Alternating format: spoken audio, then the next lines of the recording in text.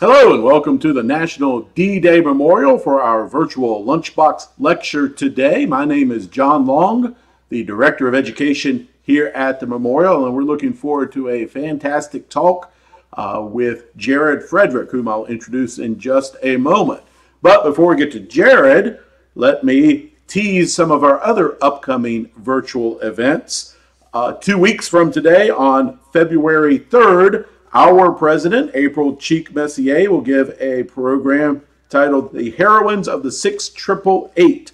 The 6888 Postal Battalion was the only all female, all African American unit posted to Europe during World War II, has a fascinating history.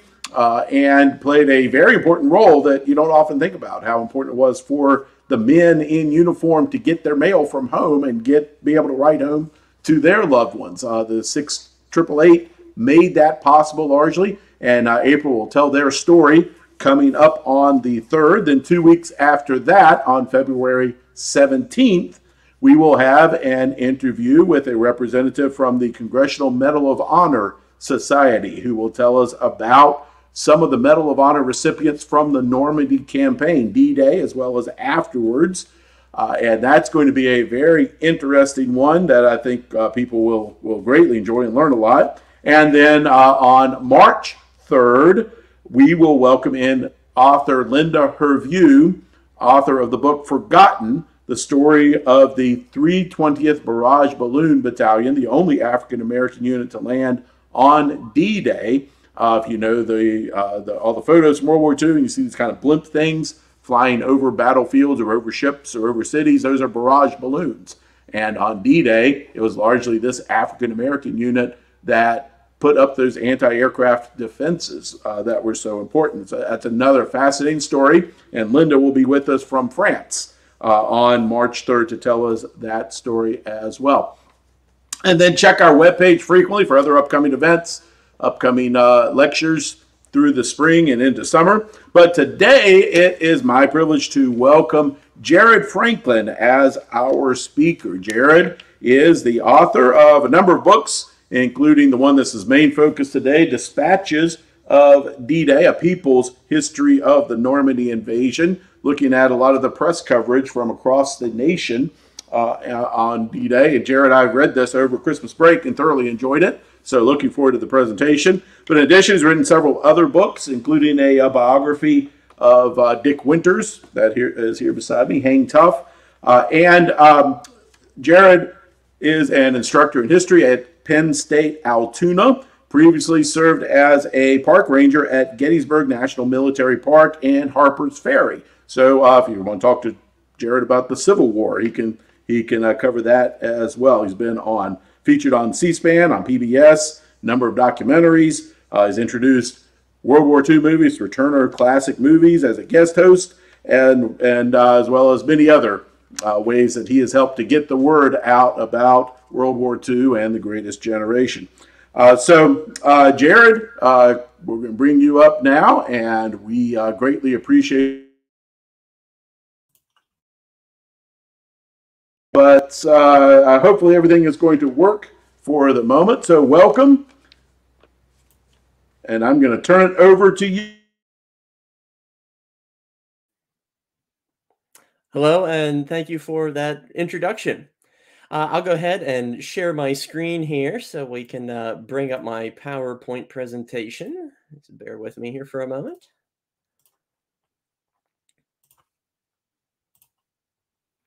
All right. Uh, so, one of the prevailing questions that I had when I started to research this book was what was exactly the American experience on D Day? And while we've looked a lot at the stories of Omaha Beach and Utah Beach, the exploits of the airborne, I also wanted to get some perspective on what was it like on the home front on D Day. That was a often neglected and overlooked aspect of the Normandy invasion. Uh, and so that that seemingly simple question uh, blossomed into this massive research project in which I dug deep into the newspaper archives.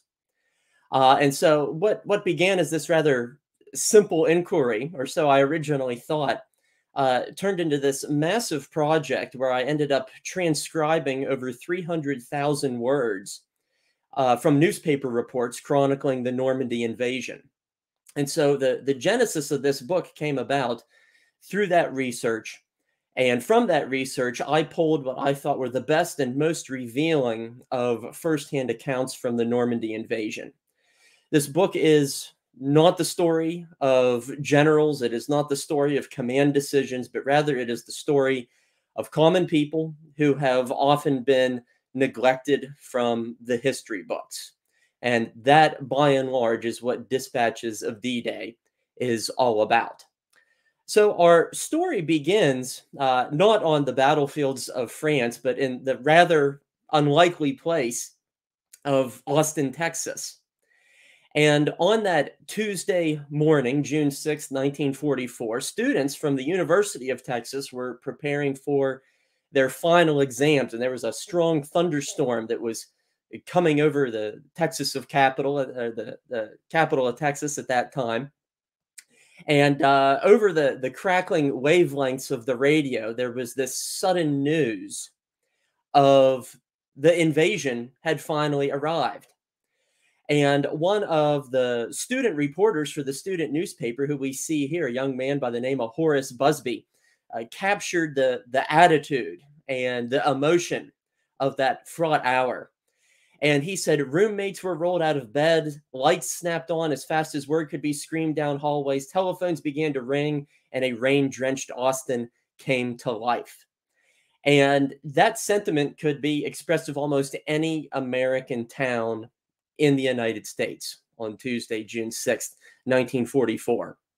And as Americans arose from bed, they often found newspapers much like this on their front porches and on their front sidewalks, big, bold lettering in red and black, announcing what had been long awaited and long anticipated. And one of my primary arguments in the book is that D Day was the biggest news story of all time. It was bigger than the Kennedy assassination. It was bigger than the Apollo 11 moon landing. And the reason why that was so is because every single county in the United States had a personal connection to the Normandy invasion.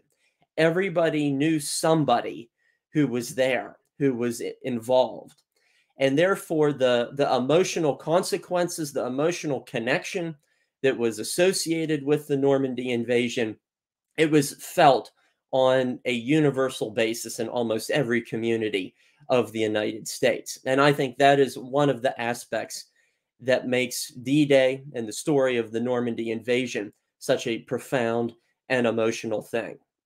But before we get to the invasion itself we're going to backlog uh, a little bit and we're going to get some understanding of the, preparation, the the uh, uh, emotion, the sentiments that were widespread leading up to all of this.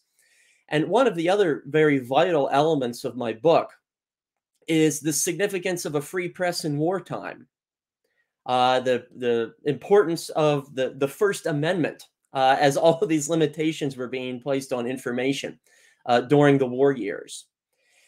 And uh, certainly, you know, the American public wasn't told everything, uh, nor could reporters report everything that they learned. But there was this expectation that the press would be truthful to the American people. And certainly, this was an expectation that was likewise expressed in Stars and Stripes, U.S. Army newspaper that was widely read in all theaters of operation. And throughout the war, Stars and Stripes made these very emotional pleas to service members who read its papers. And uh, this is something that was said in the spring of 1944 that I think really gets the to the heart of the democracy that American service members were fighting for. And the newspaper said the quest to self-educate will in itself make you a better informed soldier, a better educated American. And in the days ahead, when it becomes your job to help decide issues on which the future all depends, your knowledge of the big picture will make you a better citizen. And in a small way, that will help make this a better world. And so uh, the, the right to information, a celebration of literacy, um, holding up the free press as a as an ideal of American democracy was something that was very much on the minds of service members as that clock ticked ever closer to June 6, 1944. All that said, there were certainly limitations on notions of American liberty. And the best representation of this is the fact that the United States military was segregated and it would remain segregated for another four years following D Day. Um, and so African American soldiers who were spending this preparation time in England uh, often came to these rather harsh realizations and one of those realizations is that they were treated better in a foreign country than what they were back in their home states and home communities. Great Britain was devoid of Jim Crow, segregation, and color lines. And uh, the, the sad truth of the matter is that many Black veterans felt more at home 3,000 miles away from home. And uh, one African American sergeant uh, said this most pointedly, and he said, "We black troops went overseas to fight the Germans, but we had to fight the Yanks first. And so, a very harsh reality indeed. Uh, but one of the things that I did not expect to find in my research was the fact that D Day became a stepping stone for the civil rights movement in the United States. And American newspapers were something that helped to propel this movement forward. This was especially so for the Pittsburgh Courier, which initiated the Double V campaign during World War II, which symbolized victory overseas would mean victory at home in regard to civil rights. Uh, the Pittsburgh Courier is one of the widest read African American newspapers in the United States. And it promoted this agenda that if African American troops serve honorably overseas, they will have earned the full rights of citizenship that they and some of their ancestors had long been denied. And so uh, this was a very unexpected element of my research that I found. Um, because there were all sorts of conversations within civil rights circles about what D Day meant and how civil rights advocates could use it from an ideological standpoint moving forward. And so this was some really, really fascinating stuff that I initially wasn't anticipating on finding. Um, overcoming other hurdles as well, of course, uh, were women associated with military service. This was particularly so for female correspondents who were uh, covering the various military campaigns overseas. And they found themselves um, in these these two domains that were completely male dominated for the most part. Uh, and that was military hierarchy and also the press and media. Uh, and many of them made devout commitments that, you know, come hell or high water, they were going to be covering the Normandy invasion. Uh, we see some of those uh, female correspondents um, here in the background preparing for the invasion. And perhaps most insistent uh, among these reporters uh, is a woman who we see in the lower right hand corner of the screen. And that was one by the name of Martha Gellhorn, who worked for Collier's Weekly. And she said, It is necessary that I report on this war. It is necessary that I see for those who cannot see for themselves. And she insisted on this despite the, the limitations uh, presumably placed on her by her own husband, who also worked for Collier's Weekly, the even better known Ernest Hemingway, who we see here in the upper right hand corner. Uh, and so uh, this is where uh, uh a couple, uh, spouses, became competitors. who was going to get the first scoop on the Normandy invasion? And we will be circling back to Martha Gellhorn in a little bit to see exactly what her fate and circumstances were in her competition with her correspondent husband. As all of this talk was ongoing, though, about when is D-Day going to happen? You know, that was the big question. You know, American newspapers were taking polls, you know, they were having raffles, you know, they were doing pick the date, uh, you know, and, and having all of these guessing games. But if you were to ask a member of the U.S. Army 8th Air Force in the spring of 1944, when will D Day begin? They would have given you the answer that it already had begun. uh, because the, the 8th Air Force, as well as other air forces, uh, had been uh, trying to dominate the skies of Nazi occupied Europe for the last two years. Um, and General Hap Arnold, who was the commander of the 8th Air Force, was very insistent on this point as well to uh, international reporters when he said in the spring of 1944, We are invading and not at some remote beachhead. We are hitting the enemy where he lives. He knows if he cannot stop us, he's licked. Uh, and so behind this mentality was the thought of, uh, frankly, uh, quantity over quality, that we are going to win this thing by sheer number. And certainly other reporters were going to be reflecting that thought as we move along as well. Uh, but in speaking of preparation, uh, this is one of my favorite photos of this mobilization for D Day. And this is a port in Devon, England uh, at D minus five, five days before D Day. And as one reporter described it, uh, he, he, he described this, this huge process of uh, ships and, and vehicles and uh, supply depots filled to the brim. He described it as a mechanical Niagara and that is to say he, he encouraged visitors to to envision Niagara Falls, but instead of water, uh, picture uh, you know crates and you know ships and vehicles and bulldozers and everything else imaginable going into this colossal effort to prepare for these hundreds of thousands of allied troops that would soon be crossing the english channel and be using the shores of Normandy as a stepping stone toward conquering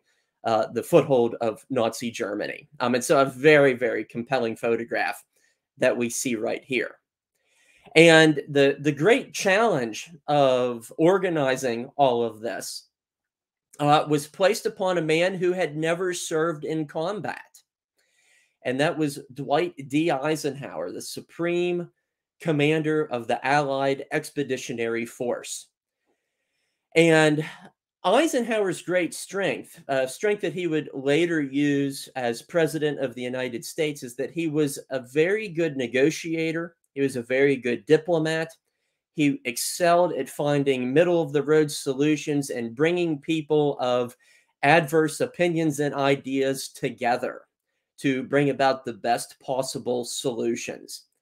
Uh, and doing so was certainly not an easy task for this general. Uh, you know, and it, it, it created a lot of stress for him. Uh, he he smoked perhaps four packs of cigarettes a day. This would later contribute to his heart attack when he was president of the United States. Uh, but a, a lot of people considered this to be a glorious burden of sorts. And reporter Ann O'Hare McCormick of the New York Times, I think, said it best when she said, Never has the fate of so many depended on the judgment of so few.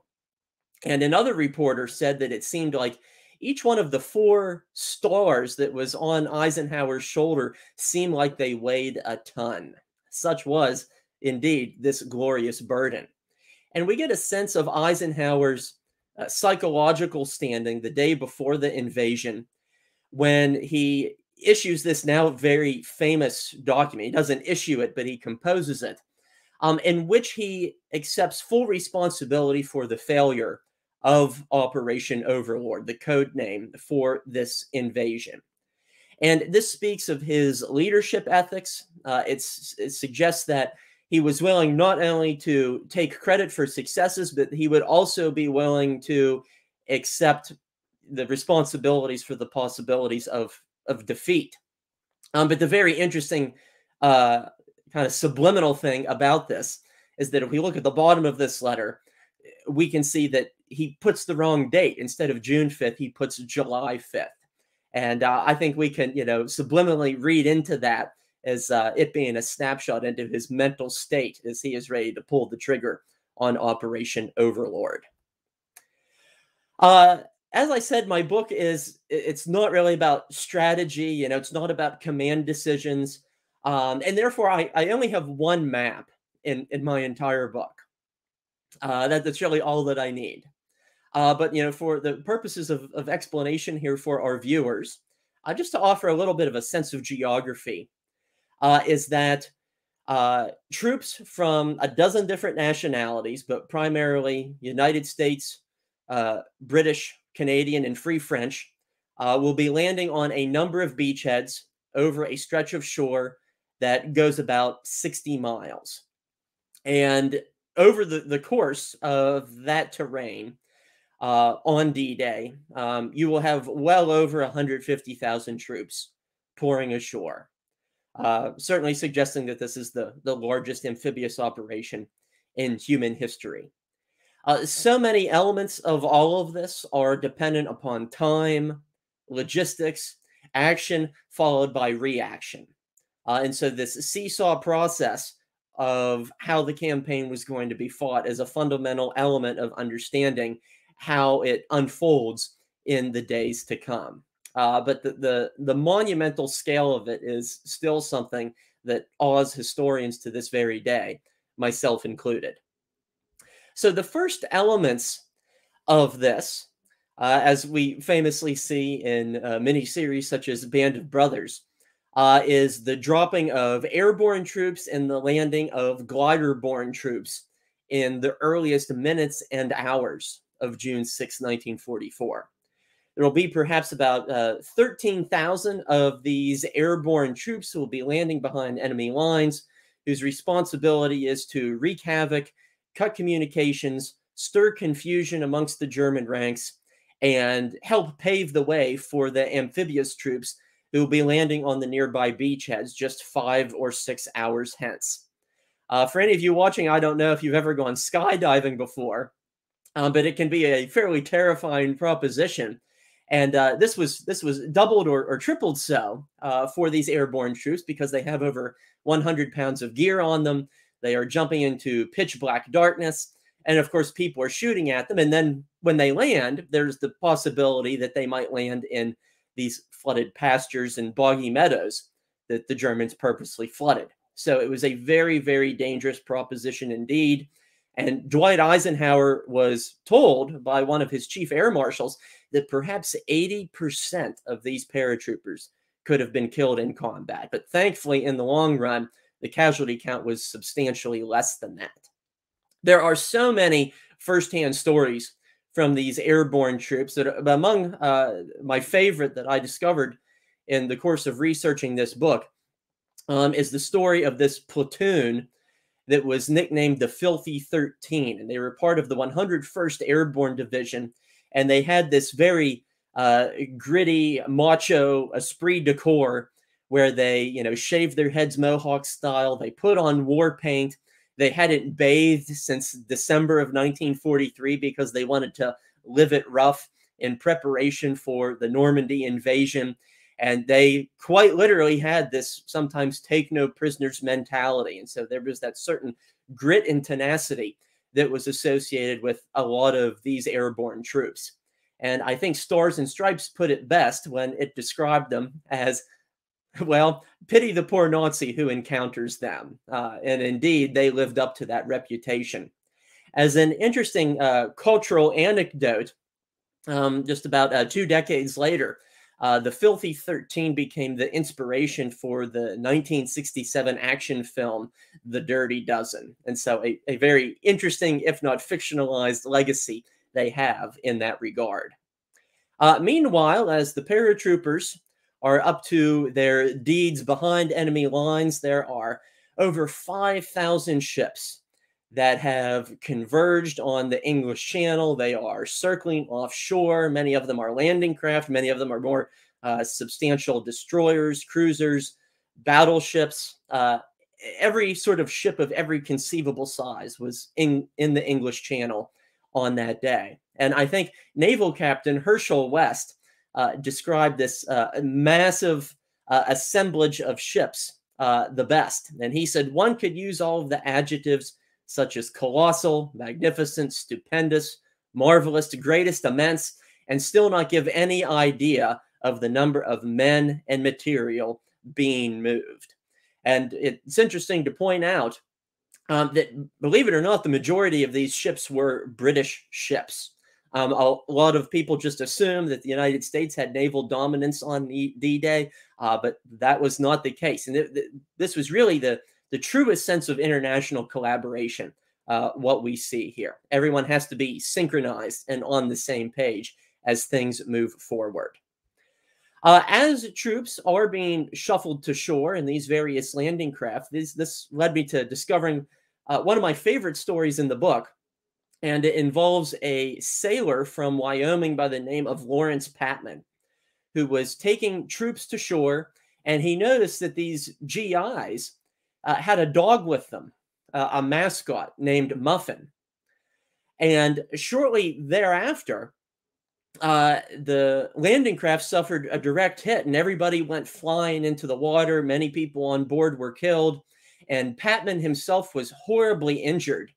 Um, his hand was swollen to the size of a football as a result of, of this blast. Um, and uh, he was fearful that he was going to drown because he could not easily swim. Uh, and lo and behold, uh, salvation ultimately came with the sounding of a bark uh, Muffin the dog had survived the blast, was in the water. He called out to the dog and it came paddling over. And uh, it, it swam right up against him. And he put his good arm over the dog and was able to use Muffin as an improvised uh, flotation device. Um, and so the dog ultimately saved him and kept him afloat.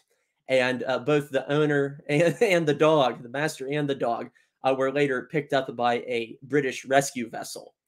Uh, Patman, he lost his hand. It, it, was amputated as a result of his injury. Uh, but as he later said, that that mutt saved my life. Uh, and so uh, there's just some of these stories that you can't make up. And indeed, sometimes a truth is stranger than fiction. Uh, among the first amphibious troops to uh, land on the shores of Normandy were the troops of the United States 4th Infantry Division who landed on Utah Beach. And among them was my own grandfather, Thomas Nickum of the 20th Field Artillery Battalion in that division. And uh, despite the fact that uh, the, the men of the 4th, uh, also known as the Ivy Division, uh, suffered far fewer casualties on Utah Beach, uh, they would really mount up their casualties in the days to come as the fighting pushed inland. And uh, this was a division that would suffer something like 250% casualties throughout the war. And so they may have been comparatively spared on D Day, but it certainly caught up with them later on. And the men of the Fourth uh, expressed their displeasure to the American press that they weren't getting the headlines that they thought they deserved. Um, and Stars and Stripes later had this to say about that. It said the boys of the Ivy Division heard that a lot of people were getting credit for the Allied advances in France that is almost everybody but the fourth. And this was revealing to me because it showed that there was an expectation among soldiers in the ranks that if they acted heroically and accomplished their missions, they wanted recognition for it in the newspapers so their fellow soldiers could know and so people back home could know as well. And so that once again circles us back to the importance of the press in wartime. Another reason as to why Utah Beach is often overlooked is because of the far greater bloodshed that unfolds on Omaha Beach, where some of the Bedford boys uh, will lose their lives as well. And uh, a fellow veteran in the 29th Infantry Division, um, a man who would later become a doctor by the name of Harold Baumgarten, uh, suffered some of the most dreadful of wounds while fighting his way ashore on Omaha Beach. And uh, as a, a, newspaper article later recounted his experiences, it said that shell fragments creased his skull, and S mine shattered his knee, and machine gun bullets smashed the small bones of his right foot. Uh, enemy rounds also tore away part of his face. Uh, you know, and this was a man who, by all likelihood, should not have survived his wounds. Uh, but he did. He went through reconstructive surgeries. He became a doctor. He dedicated his life to helping others, just as others had helped him. And Harold Baumgarten, uh, seen here at the bottom, at old age, revisiting Omaha Beach, um, really became an eloquent spokesperson for his generation. And he, he spoke on behalf of many of those fellow veterans of the 29th who did not survive the Normandy invasion. Um, all the while, um, we we also circle back now to Martha Gellhorn of Collier's Weekly, uh, who was able to beat her husband Ernest Hemingway to the punch. Uh, she became the first female correspondent to step shore on Normandy, um, and she did so on the evening of June 6th itself. And she was absolutely emotionally overwhelmed by what she saw. Um, and she later wrote, It will be hard to tell you of the wounded. There were so many of them. There was no time to talk. There was just too much else to do. Uh, and so this is a prime example of a reporter putting down their pen for a, a brief moment and uh, helping the, the, wounded, helping the, the unfolding situation that was all around them. Um, and of course, um, it, it, was the nurses in many instances who were the unsung heroes of uh, cases like this. And as reporters said, that these nurses and these doctors, they were toiling away like demons, just working around the clock trying to save as many lives as possible.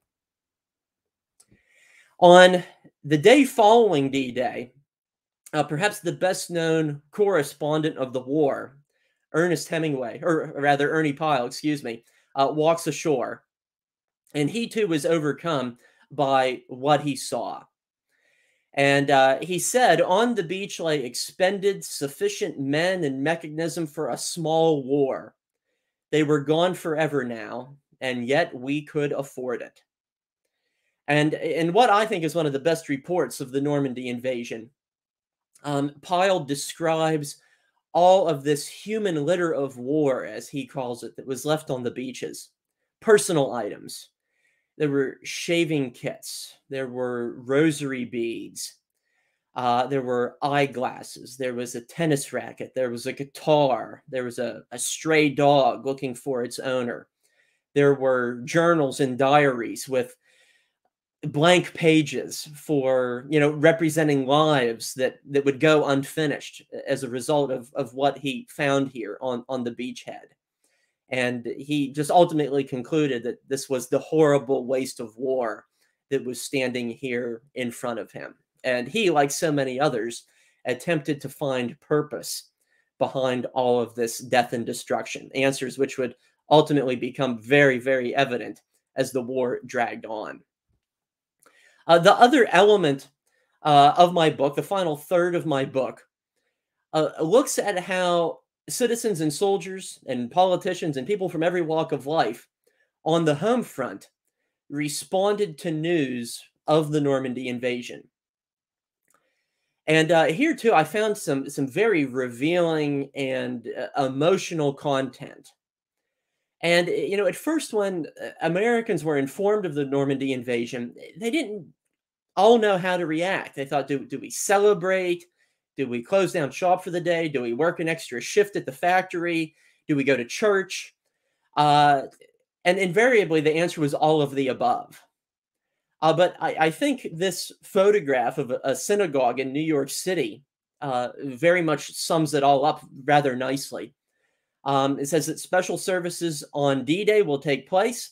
All are welcome that there was this degree of unity, there was a strong sense of purpose, a collective notion of sacrifice, a belief in the greater good uh, that resonated as a result of D Day. And uh, you see these very magnanimous gestures on large parts of the American public as a result. Uh, sadly, though, this did not mean that there was unity and togetherness in all aspects of American society. And unfortunately, this was sadly so in regard to the issues of, of race in American society. Um, in Cincinnati, Ohio, concurrent with D Day, um, there was a very large labor strike at a Wright aeronautical plant where thousands of workers had left their job because uh, six African American workers had been hired to work alongside them in the metal shop. Um, and so the mere presence of African Americans in the eyes of a lot of these white employees prompted a strike. And uh, rightfully so, the Cincinnati uh, Post uh, called out these workers And they, they said, You Wright workers, what will you say to the fathers and mothers of those men who fall in France? Um, and so there were demands for these, these differences to be put aside in the name of war mobilization to continue to take place. And so, once again, uh, surprising to me is that issues of civil rights, civil rights movement that would blossom in the 1950s and the 1960s, uh, likewise has at least some of its roots connected with the Normandy invasion in 1944. Uh, I think one of the more poignant of stories that I found, uh, it takes place in the streets of Carentan, exactly two weeks after D-Day, um, when several members of the 101st Airborne were being uh, awarded and recognized for their heroics. And it wasn't merely this ceremony that caught my eye, but what immediately followed. Uh, because uh, after the ceremony, um, these paratroopers were treated to a showing of a romantic comedy, Andy Hardy's Blonde Trouble, in the nearby YMCA, which was called La Jeanne d'Arc. And, you know, for 90 minutes, these paratroopers who had been fighting constantly over the past two weeks, they were able to enjoy each other's camaraderie. They had a good laugh. They were slapping each other on the back. They were kids again for 90 minutes, they were able to escape the war and everything that it had done to them. It also, this moment also recognizes the fact that this town had been liberated. You know, no longer were the, the French people going to uh, have to watch German films. They had their theater back. And so, very symbolic here. And even more symbolic is the fact that for many of those paratroopers in, in attendance, this movie would be the last one that they would ever see. And indeed, it it it forecast the long road to Berlin that lay ahead. As we consider the long-term consequences of the the Normandy invasion, there's perhaps few places in the United States that that capture the the drama and the emotion of D-Day than the National D Day Memorial. And I'd like to just share a, a brief excerpt uh, of my book that, in my mind, explains why this is so. And I write Few sites in the United States evoke the seismic consequences of D Day more than Bedford, Virginia. Nestled in the picturesque Blue Ridge Mountains, the community of 3,200 was like many small towns. Everybody knew their neighbors, Main Street was the hub of life. The local newspaper was a civic compass. Bedford's commonness vanished in a heartbeat when townspeople learned of the deaths of 22 of their sons in Normandy, reportedly the highest per capita invasion loss of any town in the nation. The Bedford Bulletin offered what consolation it could, stating that the boys died for a quote, justice toward which mankind has been struggling since the dawn of time. The community thereafter became something of a lifeless shell. People didn't feel like going out and doing things for a good while, reflected resident Marie Powers. No dances, no picnics, no laughing. For years, the town was shrouded by a cloak of grief too painful to endure. It was such a sad time. It was terrible, said Powers. But people loved one another and people supported each other. Much of that melancholy was released in 2001 when Bedford became the home of the impressive National D Day Memorial. And I think one of, of course, the only few places that can compete with that emotional power is the the Normandy American Cemetery itself on the bluffs overlooking Omaha Beach, where close to 9,400 American service members killed in this campaign rest in eternal repose. Uh, and so, as we look at all of these tombstones, this accounts for only 2% of the total number of Americans lost in the Second World War, and an even lesser amount of the total 65 million estimated people to lose their lives globally in the Second World War. And nearly 80 years later, uh, we must ask ourselves this very important question, and that is what do we owe the dead? What do we learn from all of this loss and all of this suffering? And I think Dwight Eisenhower said it best when just days after the invasion, he made a promise to the American people and also war reporters. And he said, Our countries fight best when our people are best informed. I should feel disturbed if I thought that I or my public relations staff were held as anything but friends of the press. I will never tell you anything false.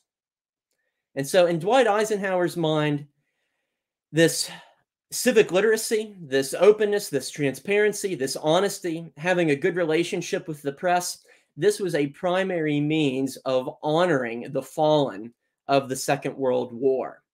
And he continued to reflect on that throughout the remainder of his life, including in 1964 when Eisenhower returns to Normandy with CBS News journalist Walter Cronkite, who himself had been a war reporter during World War II. And as Eisenhower was overlooking those tombstones of the Normandy American Cemetery, he told Cronkite, I devoutly hope that we will never again have to see such scenes as these.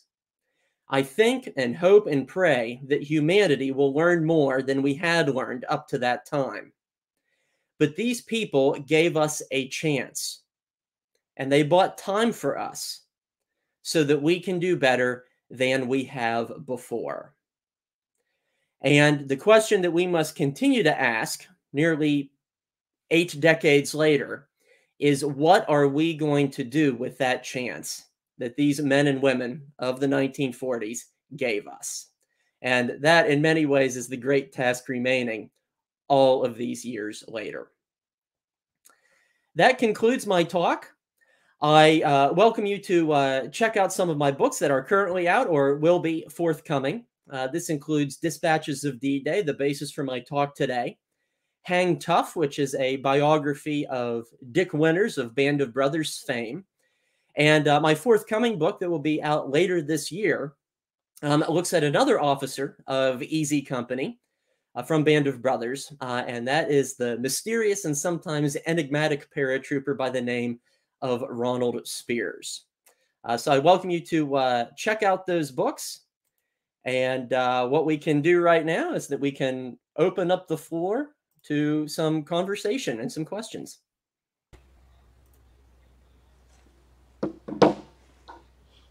Well, thank you very much, Jared. That was fascinating. And uh, we appreciate your insight, all the research that you've done. Um, I'll start with my own question, if you don't mind. I live in Salem, Virginia, which is about half an hour from where we are here in Bedford. And the local paper there referred to D Day as I Day, presumably for invasion. And that's the only time I've ever seen a reference to D-Day not called D-Day. Uh, did you ever run across any other usages of the term? Uh, I have not. Uh, that I've, I myself have never heard of I Day. That's very very interesting. Um, but the other anecdote that I can uh, offer in that regard is that in the build up to D Day, thousands of people were writing questions to their local newspapers asking what that D actually meant in D-Day, and that's still, of course, a, a question that we get today. And uh, one of the common answers that we get is that D stood for de-embarkation. That, that's often what's in the history books or what historians tell us. Uh, but back in 1944, that that's not what it meant at all.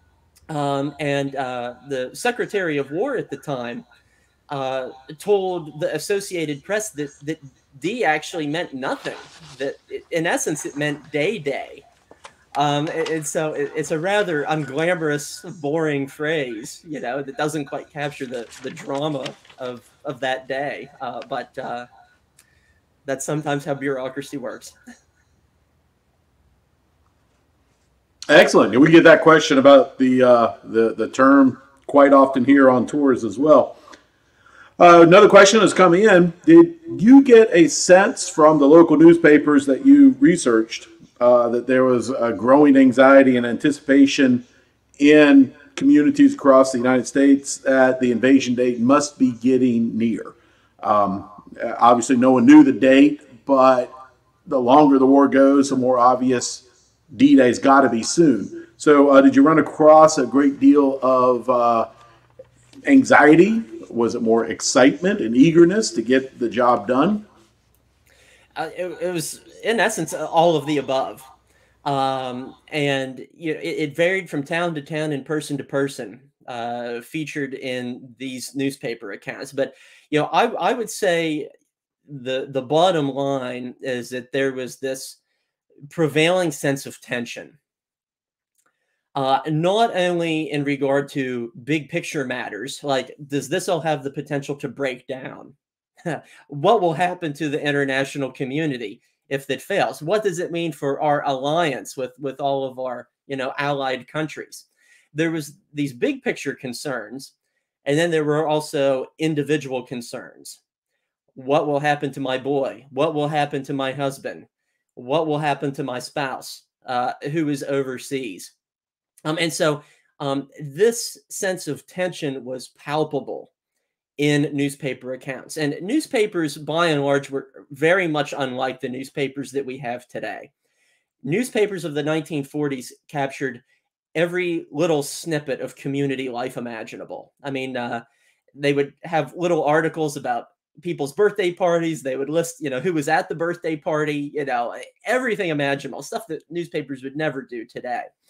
And that really allows for a wonderful perspective, a, a snapshot that we can gain of 1940s life. Uh, and, you know, and with the absence of, of social media, not having, you know, any other really means to communicate other than the written word, uh, this is how people express their opinions. People didn't have Twitter accounts. They, they couldn't talk about these things on in a digital venue as we can today. Um, and so this was the prevailing importance of newspapers for communities and citizens. Aspect of that, I think, is that no one knew what units were involved for weeks afterwards. So if you had a son you knew was stationed somewhere in England, was all he was able to tell you. Uh, you didn't know if his you if his division hit the beach first or uh, you know, came in later or at all. And that added, I think, to a lot of the anxiety. Um, another, another question uh, that has come across our wire service um, about the African American press in the United States. In your research, did you come across any efforts to stifle or to criticize the African American press uh, as possibly hurting the war effort because they were uh, reporting on racial injustice and even racial violence.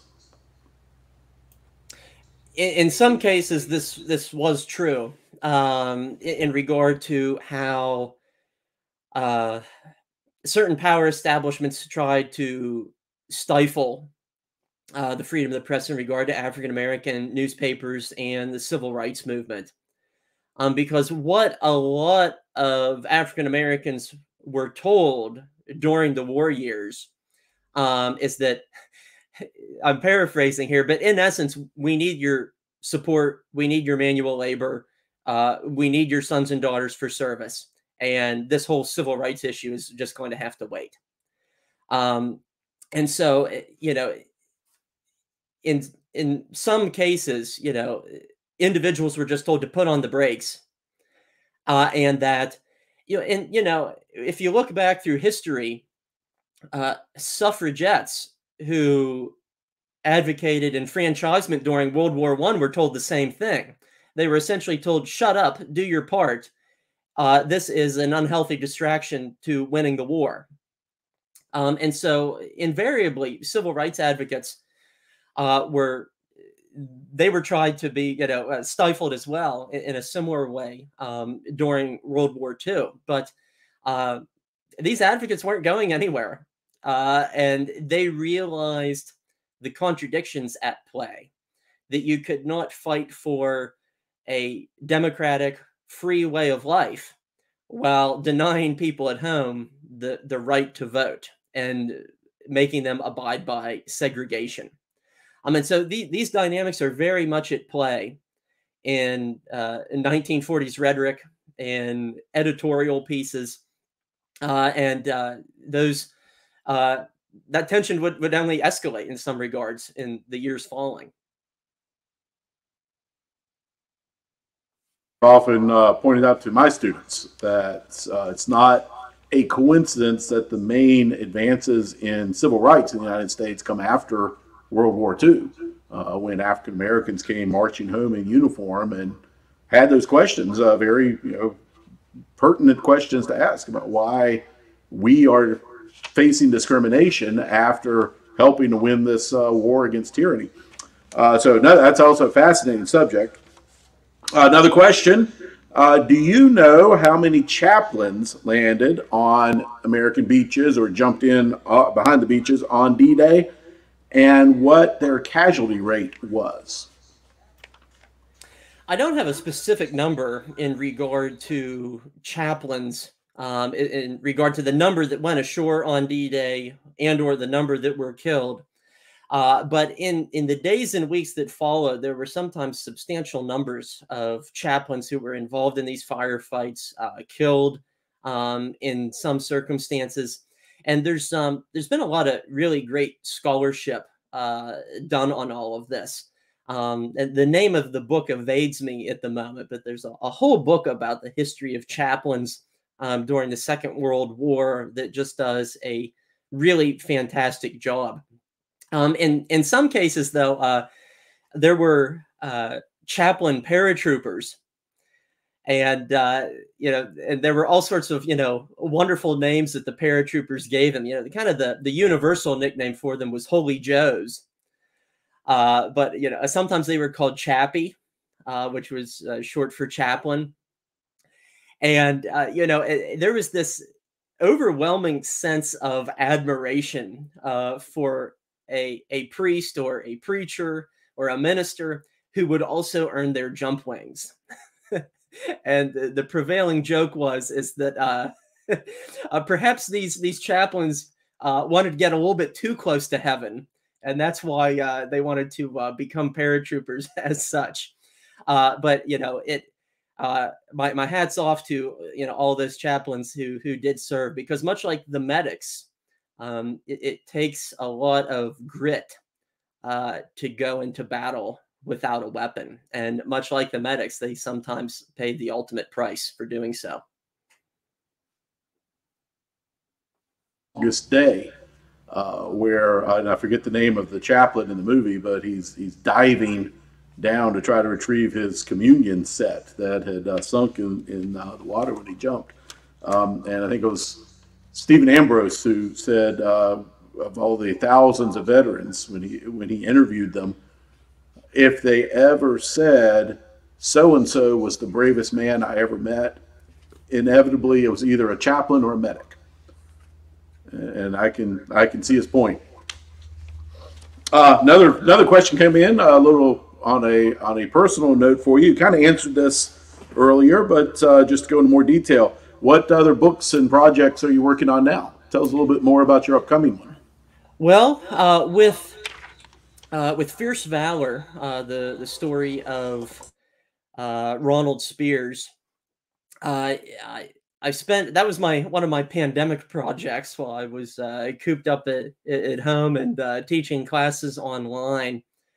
Uh, but what that book will do, I, I, think it'll it'll put to rest a lot of the, the myths, the misconceptions, and the stories about this uh, fairly mysterious officer who was in Easy Company, the 506 Parachute Infantry Regiment. And for uh, fans of the series, um, I, I, think they'll get a very rich perspective um, in, in, this biography. You know, I went into the project um, with my co-author Erik Dorr, not entirely sure what we were going to find, and uh, in the long run, we ended up writing a 100,000 word biography of this guy who we weren't sure if we would be able to write a biography at all. I mean, so I, I think it'll be very revealing, and uh, I think fans of the series will really enjoy that. Um, on, on, my plate, besides that, um, I'm also currently working on my dissertation in American studies. And uh, with that topic, I am merging together uh, two of my primary research interests, and that's the, the Civil War and the Second World War. And what I'm researching in that regard is the World War II history of Gettysburg National Military Park. And uh, when I tell people that, I sometimes get a, a quizzical look like, what's that all about? Um, but like many of our national parks during World War II, um, these places were centers of mobilization. They were training grounds. The military used our national parks during World War II. And at Gettysburg, uh, there were top secret, uh, you know, endeavors that were ongoing, such as uh, psychological warfare training. There were 800 German prisoners of war that lived on the fields of Pickett's Charge for the better part of two years. Uh, there were, you know, discussions and debates about, well, should we should we scrap and melt down the Civil War monuments to turn them into tanks and war materials? Um, and all the while, in addition to that, uh, Gettysburg and the Gettysburg Address held sublime symbolic significance for the American people during World War II. And so uh, my my forthcoming dissertation, which I hope will subsequently be a book, uh, looks at all of those issues. Uh, simply put, how was the Gettysburg battlefield physically and symbolically used in the 1940s and the World War II era? Um, so those are the things that I'm working on. And of course, a veteran by the name of Eisenhower settled in Gettysburg uh, for a while after the war. That will be part of it as well. Yeah, excellent. Uh, Lindsay, any other questions come in? Well, I believe that is all our questions. We're about out of time. So, Jared, want to thank you. I don't think this will be the last time we hear from you. Uh, we look forward to your next visit down here to Bedford, uh, and uh, you know maybe joining us again when your when your next book comes out. Uh, so we'll look forward to that. And meantime, absolutely keep in touch. Uh, for all of you who've joined us on Facebook or YouTube or whatever platform, thank you for joining us, and uh, we look forward to join in on our upcoming lunchbox lectures. You can always check our webpage, dday.org, for uh, all our upcoming events, not just lectures, but also commemorations and special events. Uh, so uh, absolutely check into dday.org frequently. And uh, for now, we want to thank you again and turn you loose. Uh, again, from Bedford, I am John Long, the Director of Education here at the Memorial, and we thank you for joining us.